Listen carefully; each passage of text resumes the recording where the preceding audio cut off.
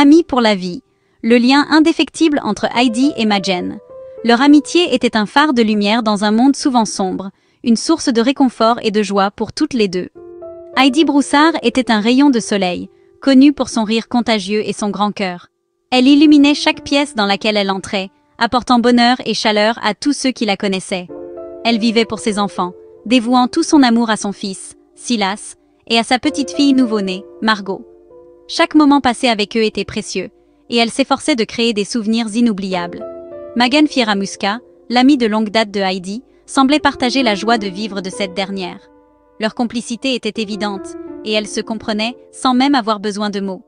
Elles s'étaient rencontrées à un camp religieux plus de dix ans auparavant, leur lien semblant alors indestructible. Ce camp avait été le point de départ d'une amitié qui allait marquer leur vie de manière indélébile. Heidi et Magen étaient inséparables, partageant les moments importants de la vie et s'offrant un soutien indéfectible.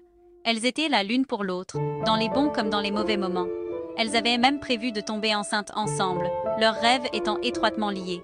Elles imaginaient leurs enfants grandir ensemble, tissant à leur tour des liens aussi forts que les leurs. Bien que leur chemin ait divergé au fil des ans, leur connexion est restée intacte, du moins en apparence. Les appels téléphoniques et les rencontres occasionnelles maintenirent leur amitié vivante. Magène, contrairement à Heidi, luttait pour trouver la stabilité. Sa vie était marquée par des déménagements fréquents et une quête incessante de sécurité. Elle se déplaçait d'un endroit à l'autre, sa vie contrastant fortement avec le foyer aimant que Heidi construisait avec son fiancé, Shane Carey. Heidi avait trouvé un équilibre que Magen semblait toujours chercher. Malgré leurs différences, Heidi n'a jamais abandonné Magen, croyant en la force de leur amitié. Elle était convaincue que leur lien pouvait surmonter toutes les épreuves. Alors que Heidi naviguait entre les joies et les défis de la maternité, Magen est restée une présence constante.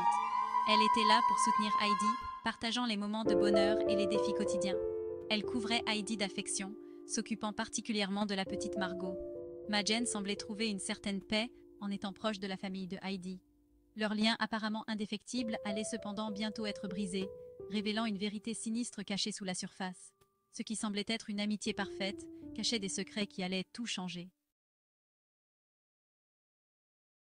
Le bonheur d'une mère, brisé. La disparition de Heidi. Le 12 décembre 2019 a commencé comme un jour ordinaire pour Heidi. Elle a déposé Silas à l'école, le cœur rempli d'impatience pour la journée qui s'annonçait. Magen était là, comme toujours, offrant apparemment son soutien. Plus tard dans l'après-midi, Heidi et la petite Margot ont disparu. Shane est rentré du travail pour trouver un appartement vide. Le silence était assourdissant. La panique s'est installée. Où étaient Heidi et Margot? Les appels au téléphone de Heidi étaient directement dirigés vers la messagerie vocale. Les amis et la famille ont désespérément tenté de la joindre, leur inquiétude grandissant à chaque instant qui passait. L'impensable s'était produit. Heidi et Margot avaient disparu. Des murmures et des inquiétudes se faisaient entendre dans chaque coin de la pièce. Les premières étapes de l'enquête étaient cruciales. Le département de police d'Austin a lancé une enquête, le temps pressait. Chaque seconde comptait. Les officiers savaient que chaque minute perdue pouvait être fatale.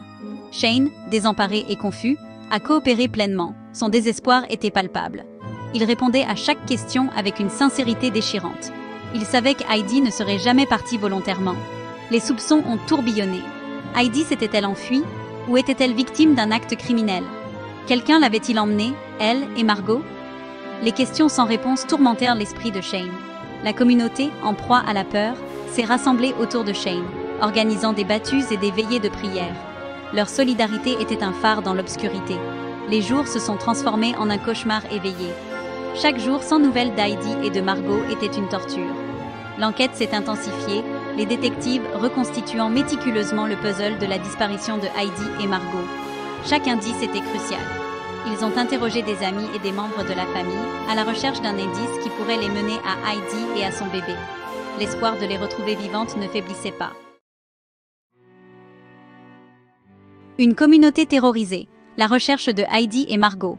La disparition de ces deux jeunes filles a plongé le quartier dans une atmosphère de peur et d'incertitude la disparition de Heidi et Margot a provoqué une onde de choc dans la communauté. Les voisins, abasourdis, se sont rassemblés pour discuter de ce qui aurait pu se passer. Des avis de recherche avec leurs photos ont inondé la ville, un rappel constant de la tragédie qui s'était produite. Chaque coin de rue, chaque panneau d'affichage portait leur visage, Un appel désespéré à l'aide. Voisins, amis et même inconnus gardaient espoir, priant pour leur retour sain et sauf. Les prières et les veillées se multipliaient, chacun espérant un miracle. Les médias ont convergé vers Austin, l'histoire captivant la nation. Les journalistes, avides de détails, ont interviewé des résidents, cherchant à comprendre l'ampleur de la situation. L'affaire, entourée de mystères, est devenue un sujet récurrent sur les chaînes d'information, alimentant les spéculations et amplifiant l'angoisse de la famille. Les débats et les théories se multipliaient, chacun ayant son propre avis sur ce qui avait pu se passer. Les jours se sont transformés en semaines, l'espoir s'amenuisant à chaque instant qui passait. Le temps semblait s'étirer, chaque minute sans nouvelles devenant insupportable. La communauté, unie dans le deuil et la peur, refusait de baisser les bras. Des réunions étaient organisées, des plans d'action discutés, chacun voulant contribuer à la recherche. Des veillées aux chandelles ont été organisées, leurs flammes vacillantes symbolisant l'espoir face au désespoir. Chaque bougie allumée représentait une prière, un souhait pour le retour des filles. Une découverte choquante. La vérité commence à se faire jour. Alors que l'espoir commençait à s'estomper, une lueur a émergé des ténèbres. Un tuyau a mené les enquêteurs à une propriété isolée à Houston, au Texas.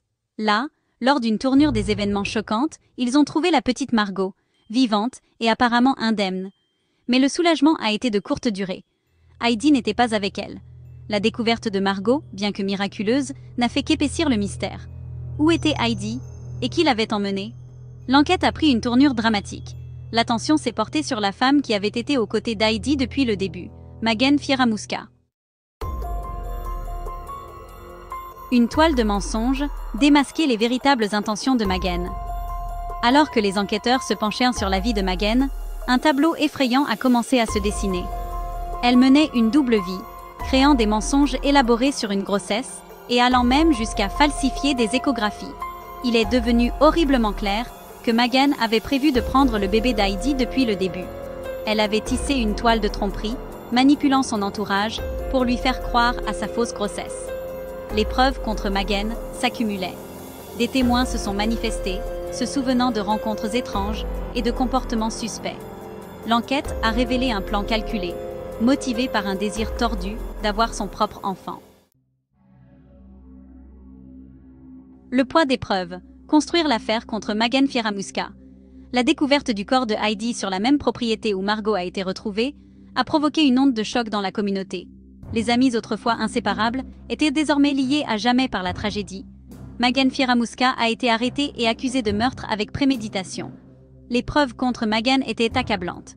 Des preuves ADN la reliaient à la scène du crime. Ses mensonges élaborés sur sa grossesse se sont effondrés, révélant l'ampleur de sa tromperie. L'accusation a présenté un dossier solide, dépeignant Magen comme une personne manipulatrice et dangereuse qui avait volé la vie d'une mère pour satisfaire ses propres désirs égoïstes. Une communauté sous le choc, l'impact de la perte de Heidi. Le meurtre de Heidi a envoyé des ondes de choc à travers Austin et au-delà. La communauté, autrefois unie dans l'espoir, était désormais aux prises avec le deuil et l'indignation. Comment quelqu'un d'aussi proche de Heidi a-t-il pu commettre un acte aussi odieux? La tragédie a laissé une marque indélébile sur la communauté. Les parents ont serré leurs enfants dans leurs bras, leur sentiment de sécurité brisé. Cette affaire a servi de rappel effrayant de la noirceur qui peut se cacher sous la surface, même parmi ceux en qui nous avons le plus confiance. Justice pour Heidi, le procès et la condamnation. Le procès de Magen Fieramuska a été une affaire très médiatisée, la salle d'audience étant remplie de journalistes et de membres de la communauté désireux de justice. L'accusation a présenté une montagne de preuves détaillant le plan calculé de Magen et l'impact dévastateur de ses actes.